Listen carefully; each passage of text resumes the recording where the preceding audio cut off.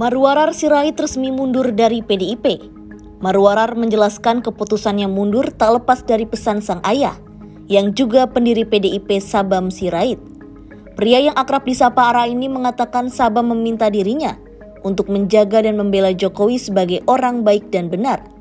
Ia mengatakan keputusannya mundur dari PDIP dan mengikuti Jokowi sudah sesuai dengan hati nuraninya. Ia percaya Jokowi adalah pemimpin yang telah berjasa membangun rakyat Indonesia.